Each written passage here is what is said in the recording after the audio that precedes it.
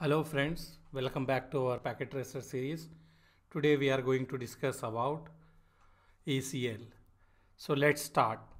ACL stands for Access Control List. ACL stands for Access Control List. So what is ACL means? ACL is a set of statement which allow or deny or select a network traffic from one router to another router. So this means ACL we use to allow or deny the traffic from one router to another router. In other words, we can say it is a filter which allow us to control traffic that is packets flowing in a network. And it is a layer 3 security. We can control flow of traffic from one router to another router. And there are different types of ACL. So let's see. ACL we have numbered and name and in name we have two types and in numbered we have two types. So let's see here. See uh, in name in number we have two. One is standard another is extended. Same thing in name also we have two types. One is standard and one is extended. So let's discuss what is the difference between these two and then we will do configuration for uh, ACL in one router so here is difference between the ACL, standard and ex, uh, extended ACL. Let's see difference between the standard and extended ACL. So first standard ACL. Standard ACL list number range from 1 to 99. So this range start from 1 to 99 and extended ACL number range start from 100 to 199. So means if we are configuring this standard or extended. If we write number from 1 to 99 in between any number then it will treat as a standard. And if we use as uh, from 100 to 199 then it will be extended.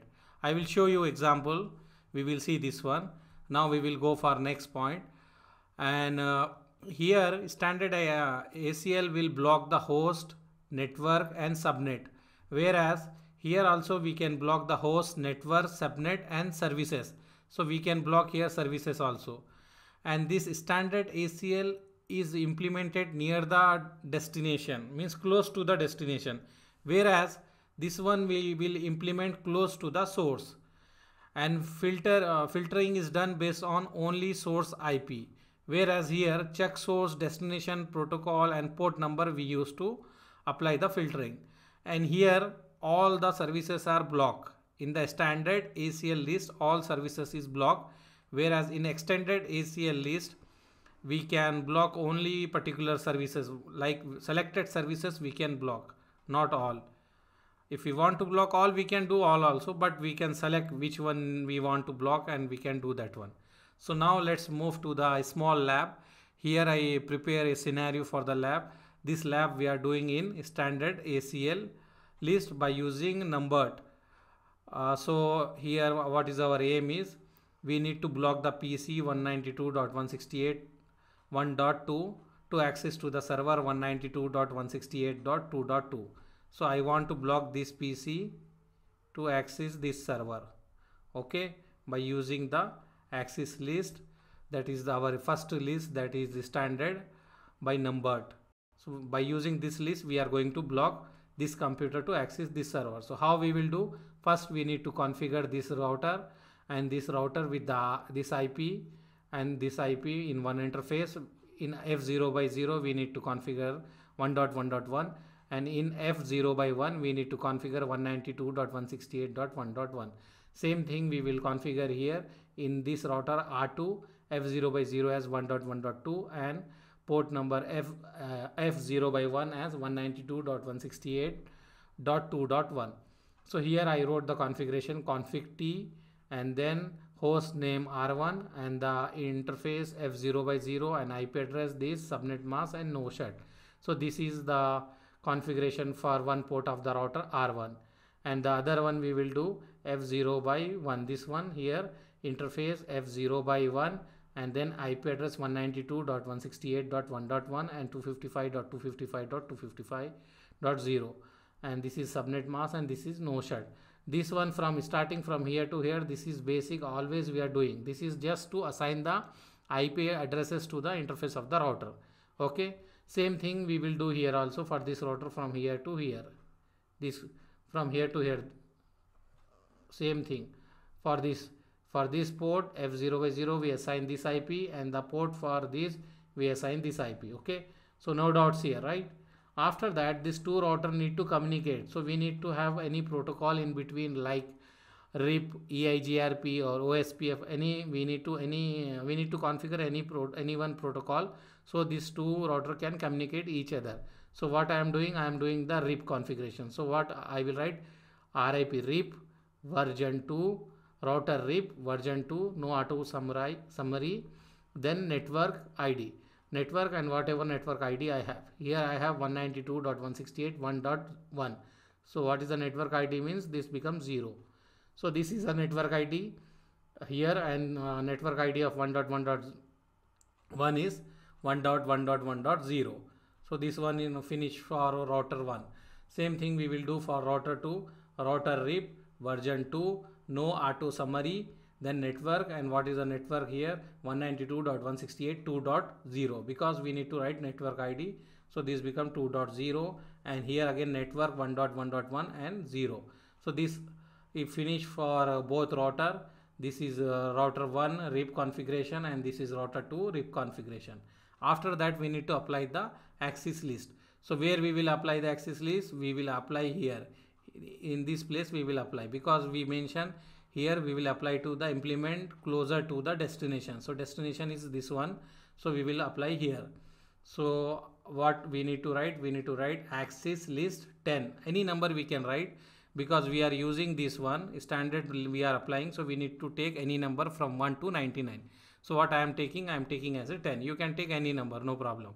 So access list 10 then we will write what we need to do? Deny. Deny. Because i need to deny this computer. So i will write deny this pc pc one example deny this pc i will write the deny host and the pc ip address 192.168.1.2 and then after that I need to deny this and remaining I need to allow. So I will write access list 10 permit any means other than this permit.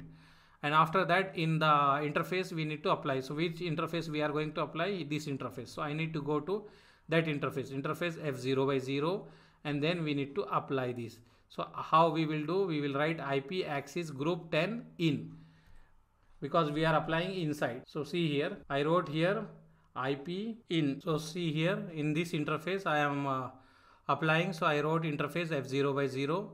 Then IP access group what group number this same number we need to write 10 and in. So i apply here in this place. So generally what we will do we will write in the access list three steps. First this one uh, deny permit and then we will select the interface which interface this one and then group to apply that one. So this is our three steps we use to apply in the uh, to apply in our uh, router. So this is a basic configuration for standard access list uh, that numbered one because we are using the number here see number we use here where here 10 so now i am going to open my packet tracer series packet tracer then we will do this same lab. Okay? So see here i already designed the lab here. Our aim is to to block this pc to communicate to this router uh, to this server. So and everything is done. I I copy the configuration here and here. So now let me copy this configuration and paste in the router okay? So I will copy this all configuration and then I will paste this all in our router. So this one I copy and I will open this router and let me maximize this window. Then I will go in the enable mode. Then I will paste the configuration here. See all configuration came. So nothing uh, wrong. Everything is okay. I will save the configuration. So this configuration is saved. Then i will copy the second configuration i will copy from here to here. First i will not copy the access list okay?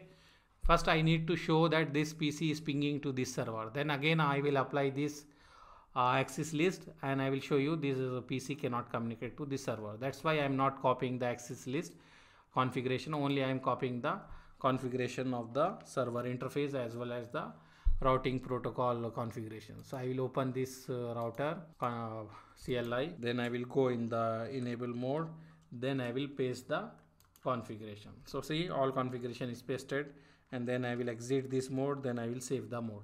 So this mode uh, this all done and here router is ready. Now we are going to open this uh, pc and going to ping this one. Can we can ping or not we will see. So let me go here. Let me ping here see see reply is coming. I am pinging from this computer 192.168.1.2 to other computer 2.2 so it is reply is coming so no issue it is working fine. Now we need to apply the ACL so I will copy the ACL this configuration this configuration and I will paste in the router 2 so I will go in this router then I will go in the configuration mode then I will paste this configuration so see this configuration pasted and then I will exit this mode and I will save the configuration. So now this one is done. Uh, I will open the same computer and I will try to ping again. Same thing. Let me ping again. See reply is not coming. Reply is uh, giving destination host unreachable. See this one destination host unreachable means this uh, PC uh, unable to communicate to the server so with the access list, we are uh, access of the computer 192.168.1.2 to access to the our uh, server. So hence proof our lab is successful done. So in next video we are going to do uh, extended ACL. So subscribe to our channel, like our uh, video and share with your friends. See you. Bye.